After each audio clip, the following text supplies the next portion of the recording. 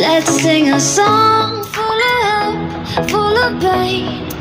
Why don't you sing along, my friend? For it's our last refrain. Hi guys! Welcome back to my channel! Ngayon po sa video ito ay mapakita ko po sa inyo kung gaano po ka-effective itong aking whitening peeling cream na at the same time para panghilod ko na din, panglibag ko na din. Diba? Napaka-effective po at napakaganda at napakamura. Napaka-effective ito guys. Ginagawa ko to guys bago ako maligo. So dito makikita natin kung paano siya kung gaano siya ka-effective guys. Ayan siya guys. So, so naano ko lang to sa Lazada. So ayan na guys. Susubukan na natin dito sa ating kabilang braso. So ayan ang lalagay na tayo. Ipakita ko sa inyo guys ha. So i-wrap na natin.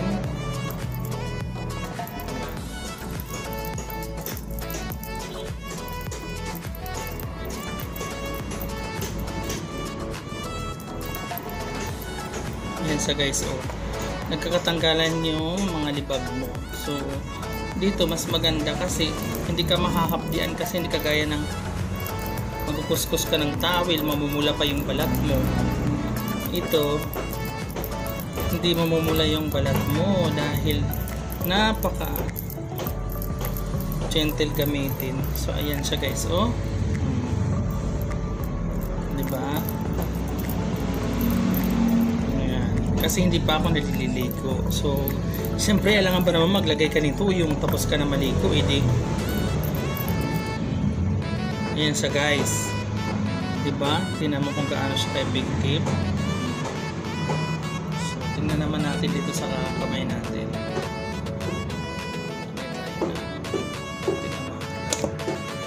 So ganun din guys ang gagawin natin. I-rub lang natin siya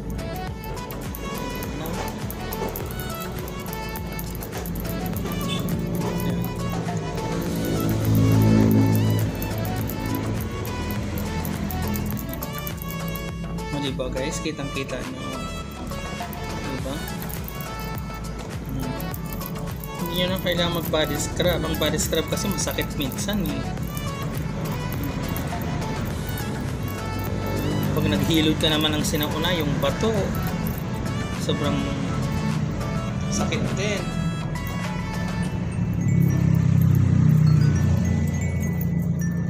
So guys, dito sa kabilang kamay natin, lagyan natin, ayan lagyan natin ng konting amount lang guys. Ayan. Kita nyo rub lang natin yan ha?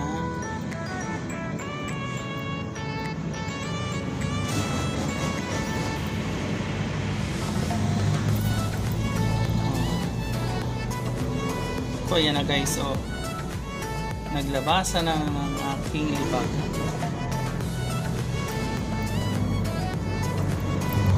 tapos lagyan din natin yung ating braso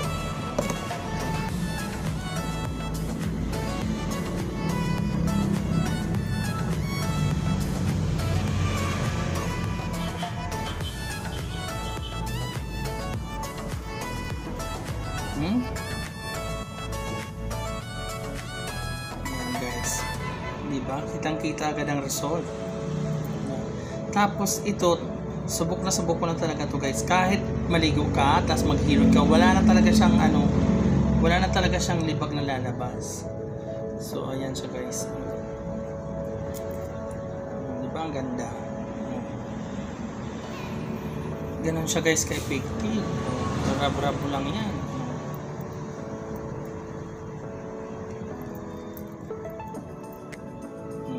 Ang galing.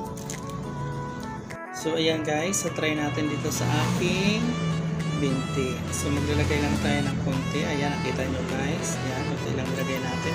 So irarap lang natin ha? Makikita nyo yan ang result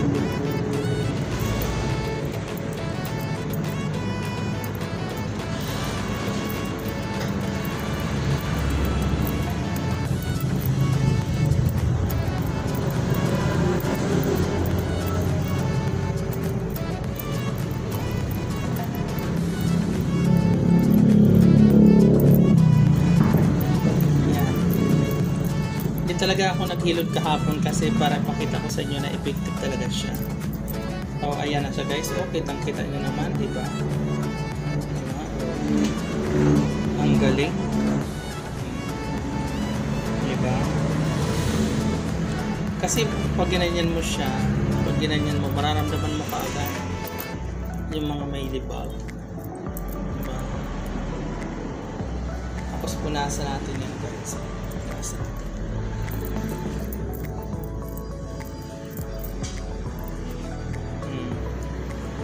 Tingnan nyo guys, oh, napaka-smooth na siyang hawakan.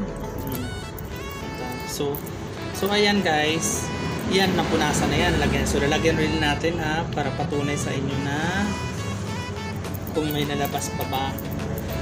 Diba? O, as you can see guys, kitang-kita nyo guys, o, bula na lang ang lumabas.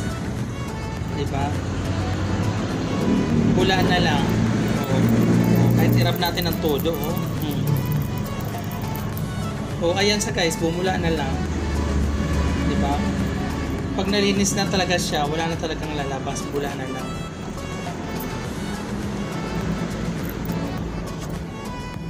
So, ulitin natin guys ha.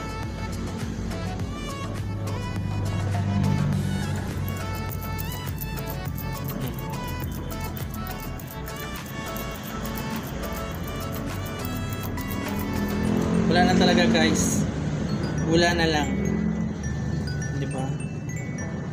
Pero tingnan natin sa ano, sa hindi pa talaga na ano na lilinisan. So ayan sa guys, itong kabila na to ay hindi natin nilagyan kanina.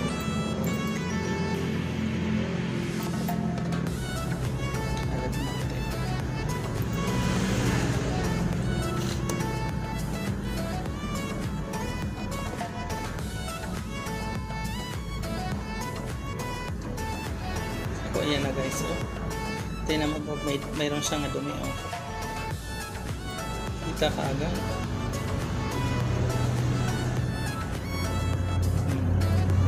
Diba? Oh, pumutik siya kaagad. Oh.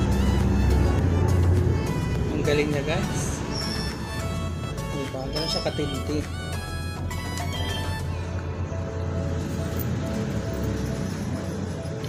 Tingnan natin sa ulit guys.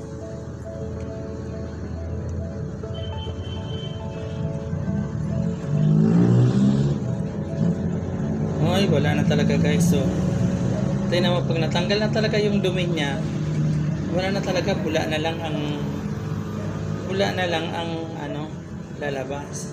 Di ba? Ganon siya ka-effective. Di ba? Ang galing. Matagal ko na to guys ginagamit. Almost one year na.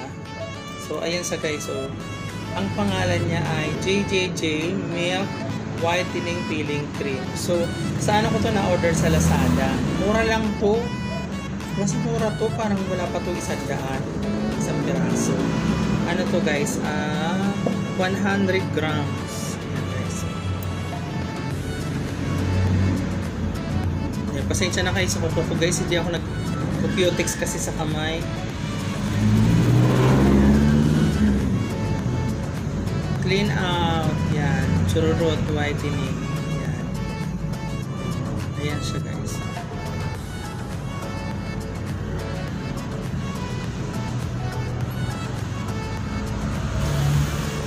Diba? Ayan. Mababasa nyo na rin.